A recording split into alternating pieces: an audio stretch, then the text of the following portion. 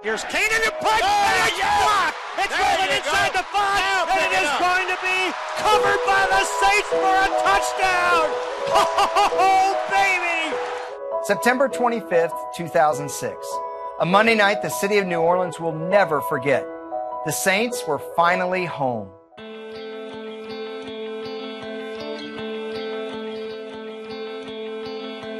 It had been 638 days since the Saints played a true home game after the city was decimated by Hurricane Katrina. Their rocky 2005 campaign resulted in home games at San Antonio's Alamodome and a 3 13 record amid rumors the franchise would stay in Texas permanently. In came new head coach Sean Payton, free agent quarterback Drew Brees, and the number two pick in the draft, Reggie Bush. Suddenly, the Saints had hope. Hope the city of New Orleans could latch onto. Fast forward to week three, Monday night. The 2 0 Saints welcome Mike Vick and the Atlanta Falcons. Coincidentally, the last team the Saints hosted in New Orleans back in 2004. The Superdome, rocking. Green Day and U2 doing the same. The house was at full bore before kickoff. We all know what happened next. Michael Koenen, who uh, has made a headline for missing six of his eight field goal attempts this year, is now back to just punting and kicking off.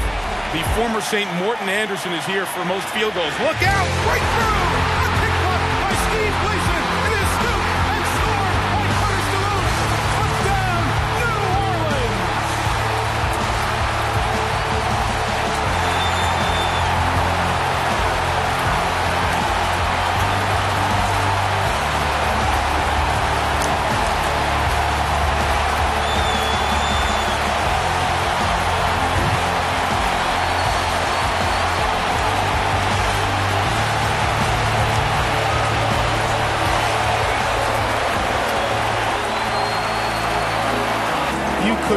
Script this any better than it just happened for the New Orleans Saints.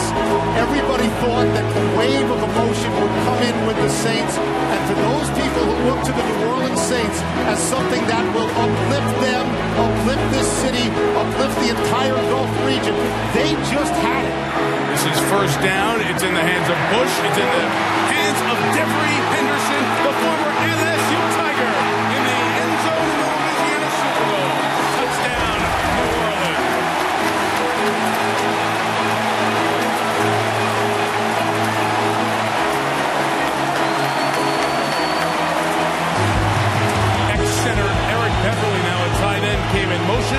Vick struck down. Regular season here since the end of 04.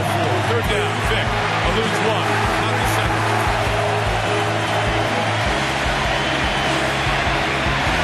Vick sacked again by Will Smith again.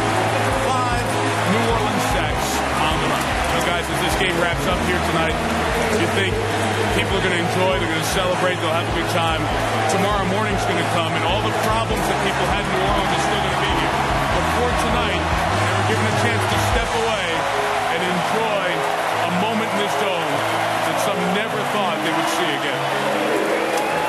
New Orleans Saints, 3 0. That wave carried the Saints to a 10 6 season in their first ever NFC Championship game appearance. More importantly, football was back in a city that needed it most.